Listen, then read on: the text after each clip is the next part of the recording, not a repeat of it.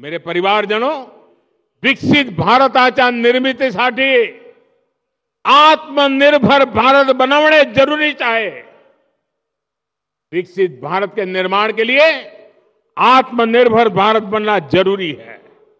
और आत्मनिर्भर भारत बनाने में हमारे छोटे, लघु और कुटीर उद्योगों की बहुत बड़ी भागीदारी है। इसलिए केंद्र सरकार एमएसएमई को, छोटे उद्योगों को लगातार बढ़ावा दे रही है। कोरोना काल में जब एमएसएमई पर संकट आया तो सरकार ने इन्हें लाखों करोड़ रुपए की मदद की थी।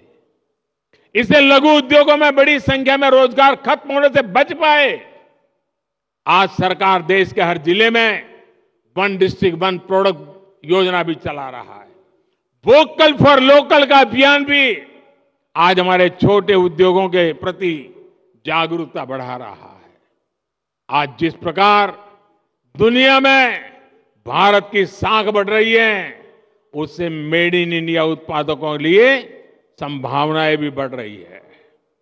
केंद्र सरकार के इन सारे अभियानों का लाभ सोलापुर के लोगों को हो रहा है। यहाँ के उद्योगों को हो रहा है।